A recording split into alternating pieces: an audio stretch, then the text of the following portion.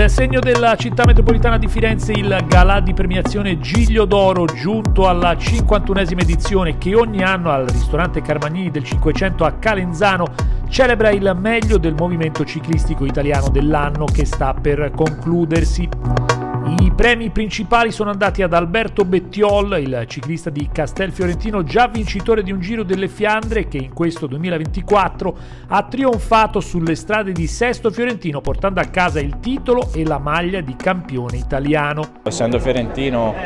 essendo toscano, essendo anche molto legato al territorio, appena posso torno qua in Toscana ad allenarmi, a a andare in bici in queste zone estremamente bello e è stata un'annata un speciale quest'anno con il campionato italiano vinto, vinto qua in Toscana, poi la settimana successiva ho avuto l'orgoglio di poter far vedere questa bellissima maglia al Tour de France che è l'evento sportivo più seguito al mondo quindi tra i premiati anche i giovani emergenti Mattia Gastasini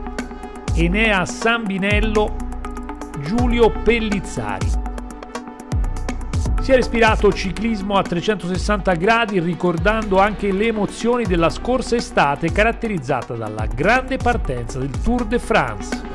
È un momento importante per eh, il valore che questo premio dà al ciclismo, soprattutto in un territorio dove c'è tanto eh, amore verso questa disciplina. Quindi per continuare su quell'onda che abbiamo voluto raccontare portando il Tour de France ci fa piacere davvero che eh, possiamo consegnare questo premio ad un nostro testimonial, ad Alberto Bettioli, ad un ragazzo davvero semplice ma con grandi doti, non soltanto sportive ma anche umane, che abbiamo voluto mettere all'interno dei nostri